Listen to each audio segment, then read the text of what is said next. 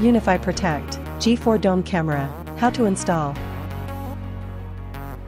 This G4 camera is great, it has a tremendously detailed video feed, great night vision, and picks up motion well. The smart detection for identifying only people is awesome. It can differentiate my dog from a person, and only a person will trigger the notification to my phone, although it does record all motion for later review, should you so desire.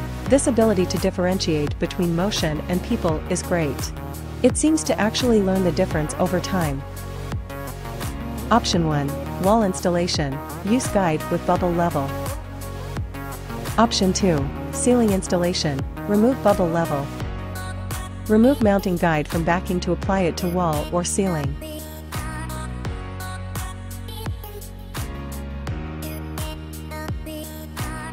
Drill out the four holes for the base plate using a 6mm, 1 quarter, drill bit.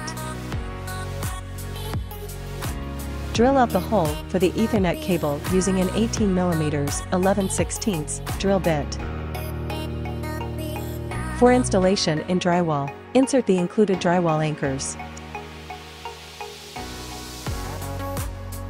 Secure the base plate using the provided screws or bolts. Run your Ethernet cable and pull it through the last hole. Remove the gasket from the back of the G4 dome camera. Run the cable through the gasket. Plug the cable into the G4 dome camera.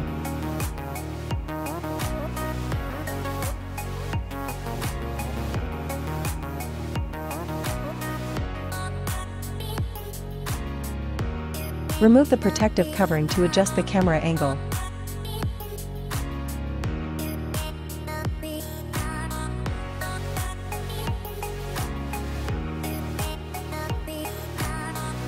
Control your G4 Dome camera and store your footage securely with a UNVR.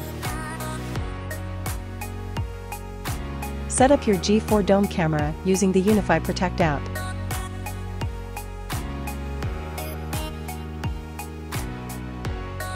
Ubiquiti, simplifying IT. Don't forget to subscribe, like and share. Thanks for watching.